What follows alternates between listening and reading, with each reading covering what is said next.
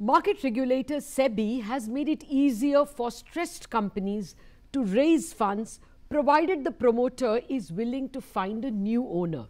SEBI has allowed preferential offer of shares to the new owner at the past two week average price, not the six month average price. If you remember, the Jet Airways resolution partly fell through because of the higher asking price given the formula. Secondly, SEBI has also said that in case of takeover offer defaulting or a stressed company, open offer is not required from the new promoters. This also is a huge relief for a prospective buyer of a distressed company. So will this help in the existing stock of NPAs or will it at least reduce the fresh uh, rise of defaulters? Separately, earlier this month, the Reserve Bank also issued draft rules on loan assignment which make it easier for banks to sell loans to alternate investment funds, AIFs as they are called. Are all these paving the way for slightly quicker resolution of stressed loans? And what about the good old IBC, the bankruptcy code and the NCLTs? Is that in cold storage or is it slowly working uh, to reduce the stock of NPAs? To answer all these questions, I have with me an elite panel of financial experts. I have with me S. Srinivasan, Managing Director of Kotak Investment Advisors, Sunil Mehta, CEO of Indian Banks Association, Shardul Shroff of Shardul Amarchand Mangaldas, the leading lawyer on IBC, and Abizar Diwanji, the partner at EY. Gentlemen, thank you very much for joining me.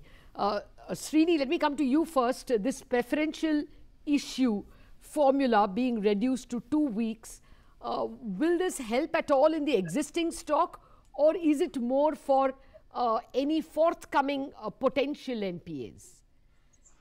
Well, uh, you know, uh, it will help because you know funds like ours and other stressed funds are happy to participate not just in buying the existing debt or NPA, mm. but also providing recapitalization to companies which may be in financial trouble. Mm. The challenge was that many of these companies which had NPAs and some of them who are in fact even in IBC their stock prices were at unrealistic levels. In most cases, their, st- their stock prices were uh, should have actually been zero.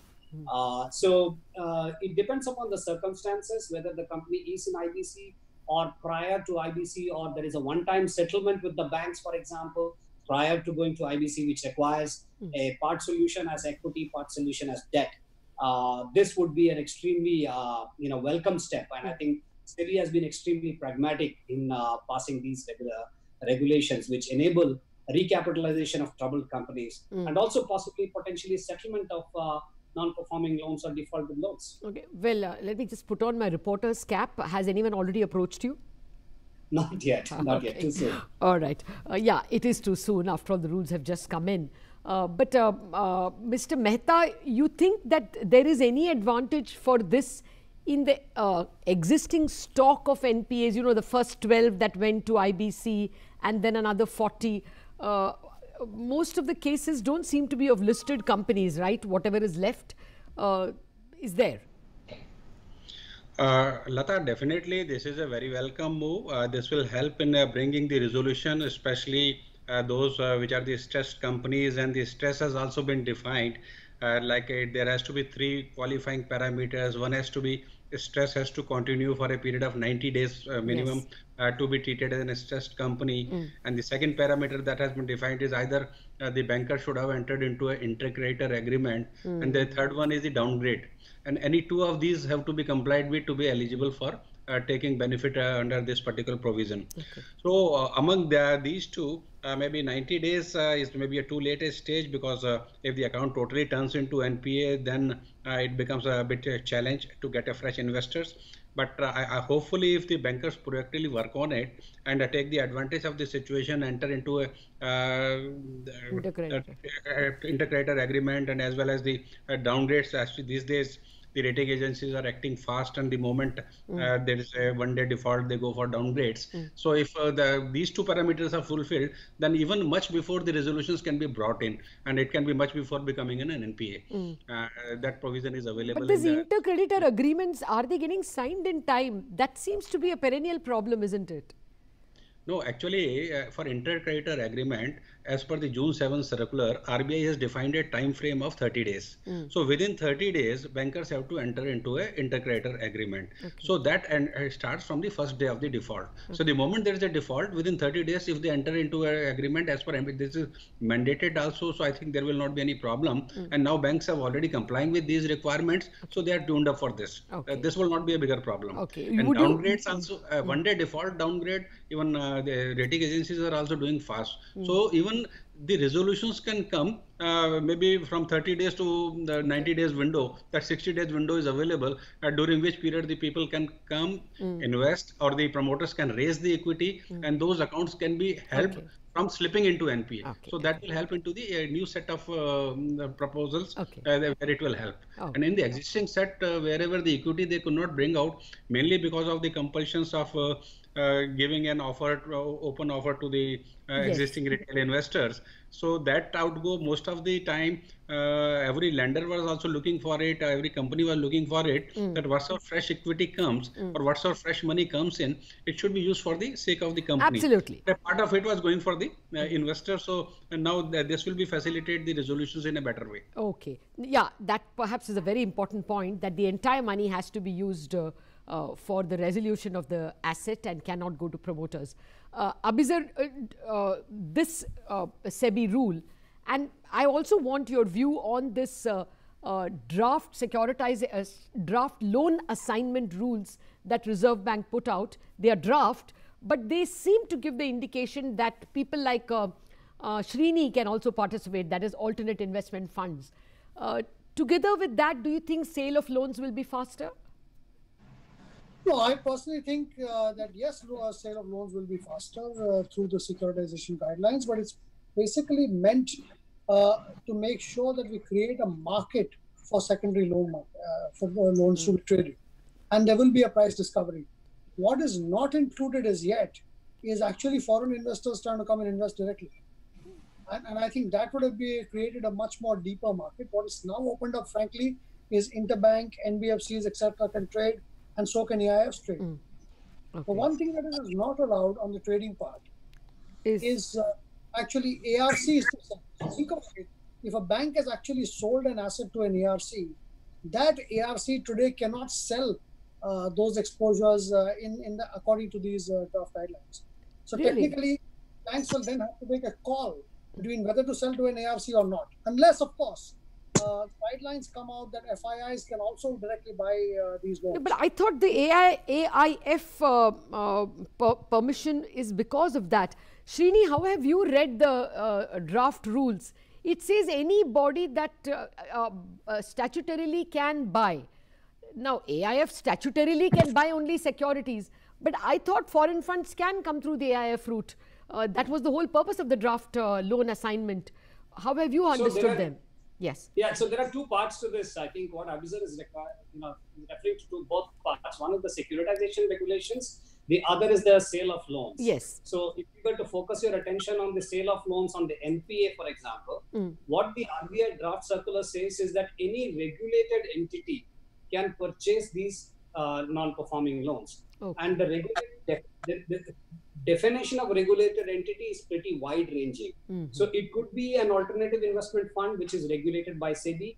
And FPI is also regulated by SEBI. Okay. So technically, an FPI can come and purchase the loan provided SEBI permits it as a permissible activity mm-hmm. for an FPI to do so, okay. which is the same even for alternative investment funds. Okay. The second part of what Abizar was saying was that because the regulations say that it can be sold to any regulated entity. Mm. The reality of it is that today, if you have a pass through certificate mm. and there are certain conditions, pass through certificates are also regulated entities by mm. SEBI. Yeah. So it is feasible that a non performing loan can be bought into a PTC structure. Okay. And in that yeah. PTC structure, an AIF can participate, so can an FPI. Oh, okay, okay. Well, yeah. uh, I don't know if further clarifications will be needed by SEBI because um, uh, uh, SEBI wants funds to only buy securities. As you say, they can be bought if they were broken up into pass-through certificates.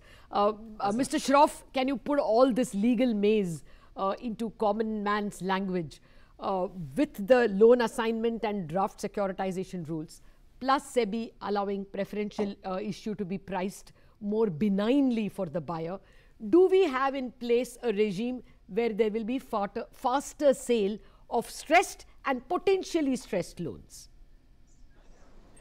Let me address the second question 1st mm -hmm. uh, uh, there have been two amendments which have been introduced, one on 16th of June and yeah.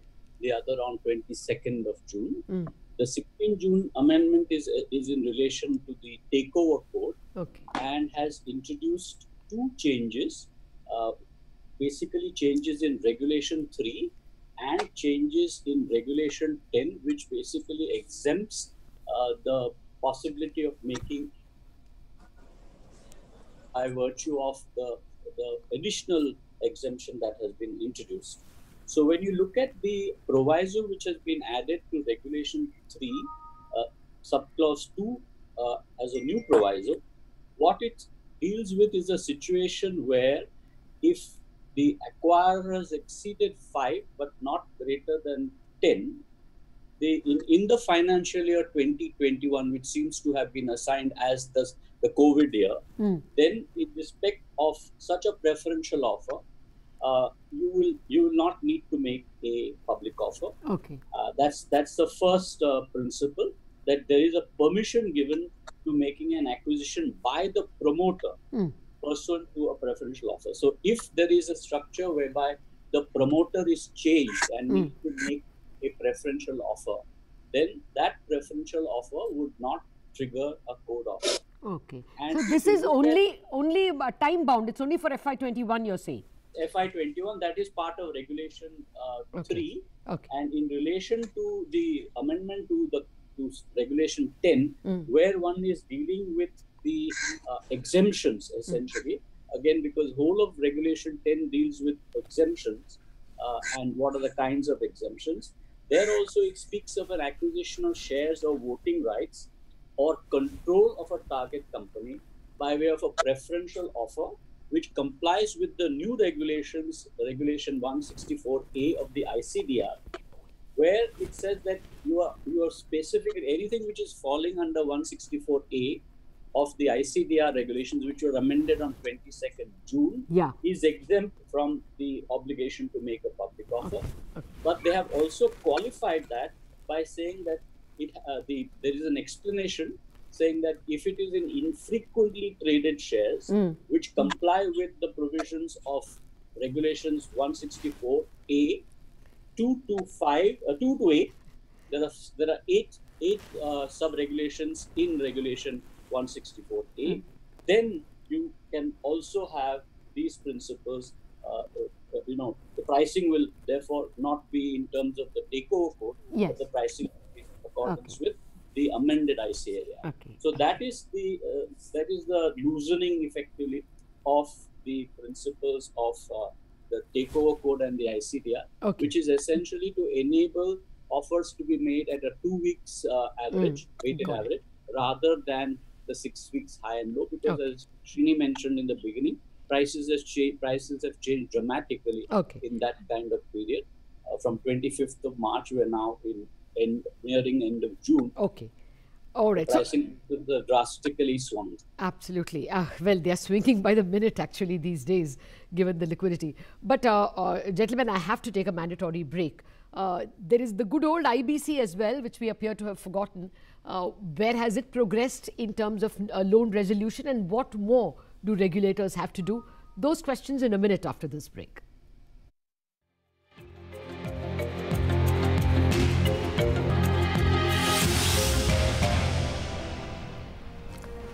Welcome back. We have been discussing with uh, uh, Shardul Shroff, uh, S. Srinivasan of Kotak, with uh, uh, Abizar Diwanji and uh, with uh, Sunil Mehta of IBA, whether the recent changes in SEBI rules and in RBI's draft securitization and loan assignment regulations, we are reaching a spot where loans can be sold off pretty quickly by the banks. The consensus so far has been both these rules the draft rules on loan assignment and the preferential offer pricing easing uh, should help faster sale of loans.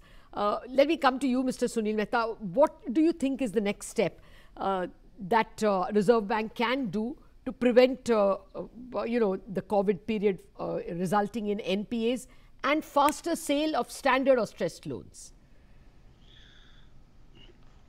Uh, Lata, uh, this is being facilitated by Reserve Bank in uh, two, three ways.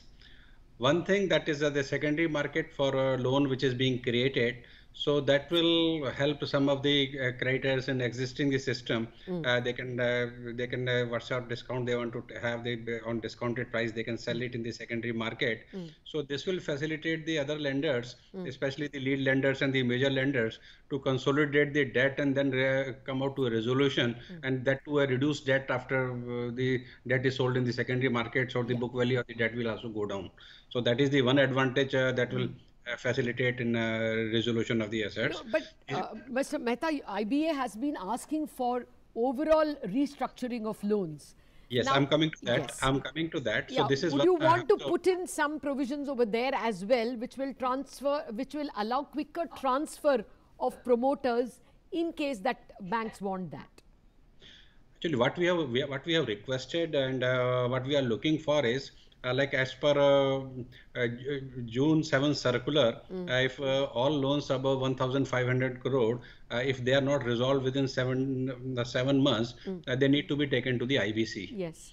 And now that uh, IBC framework um, uh, may not, they may not admit any new cases under COVID because of any default after mm. 25th of March may not be admitted for the next six months in the beginning, which can be extended to a period of one year. Mm. So that, that that restriction is already there. Mm. Now, how uh, the bankers are going to uh, face this situation? So one of the possible way out is because the companies are stressed out. Many of the companies there will be a blackout period for four months mm. where there was no cash sales, so there was no realizations, or some of them were not able to produce at all. Mm. So these four months blackout period will have to be supported by the banking system. Mm. So slippages on that part, RBI has already provided the forbearance.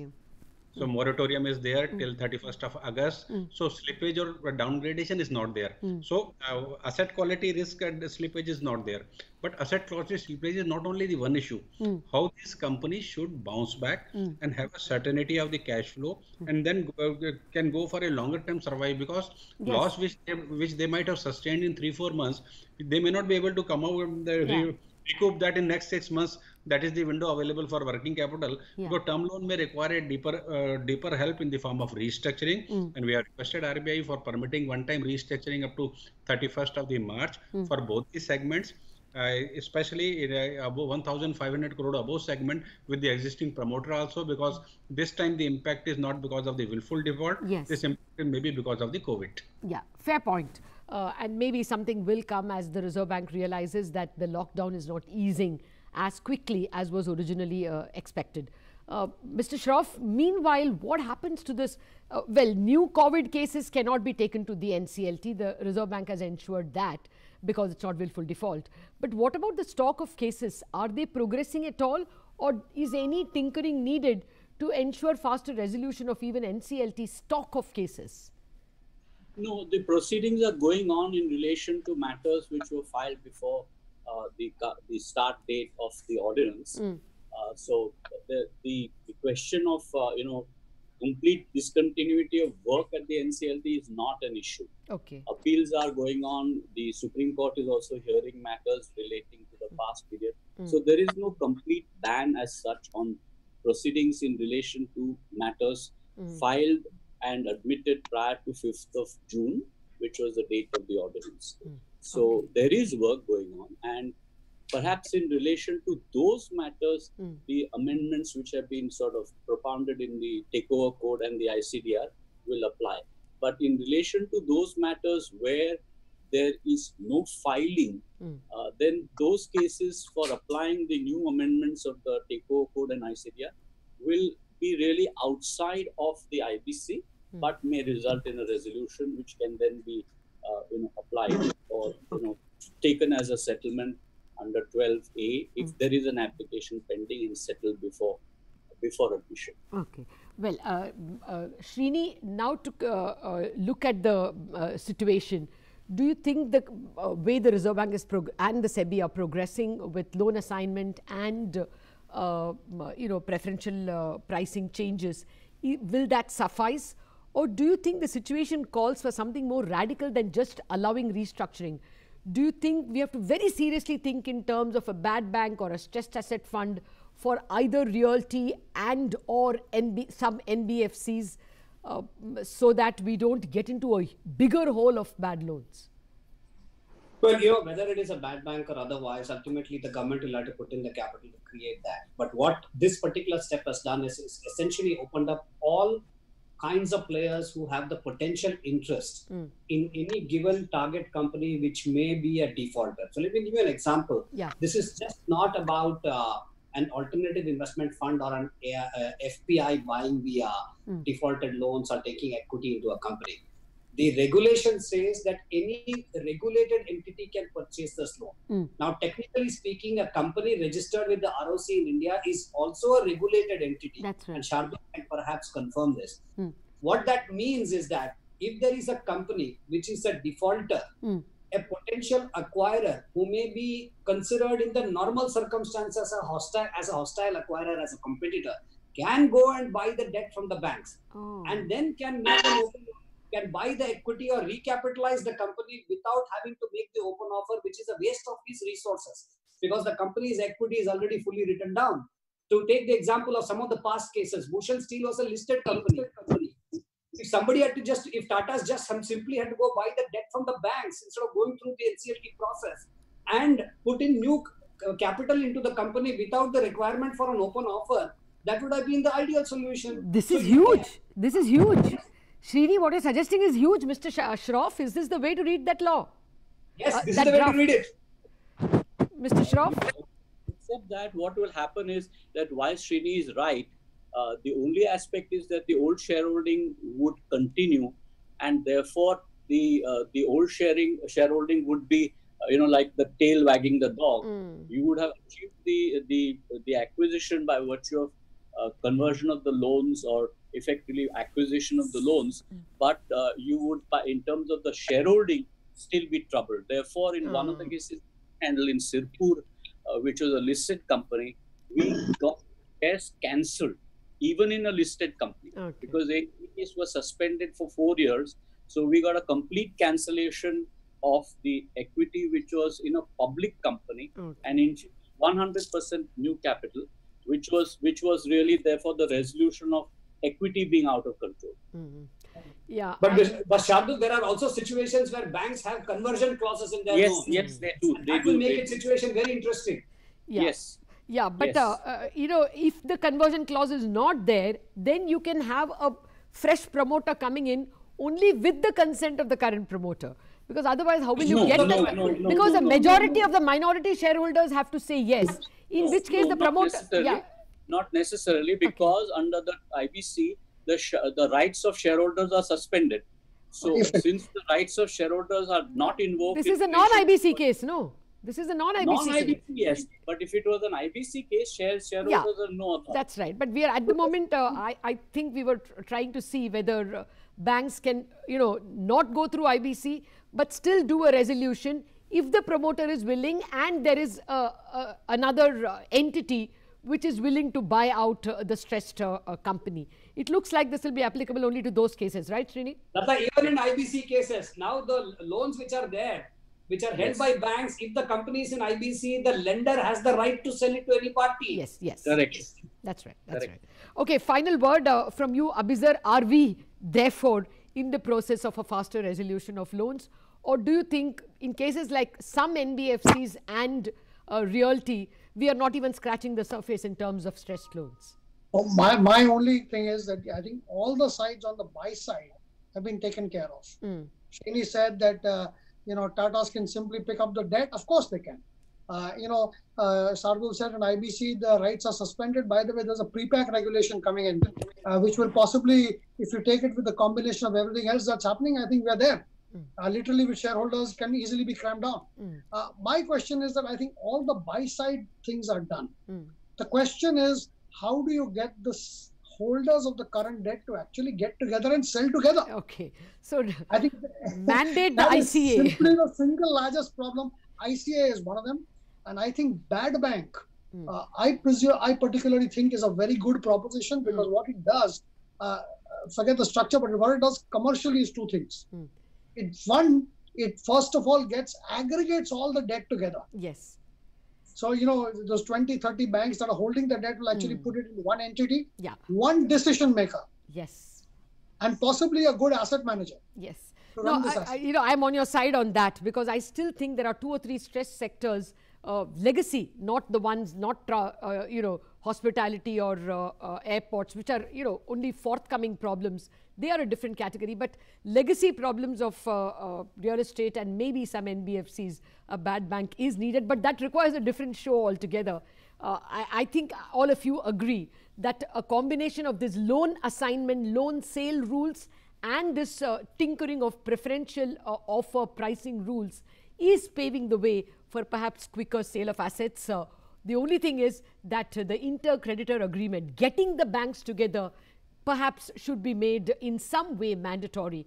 That might speed up the process. Gentlemen, thank you very much for joining me in what's a very engaging conversation.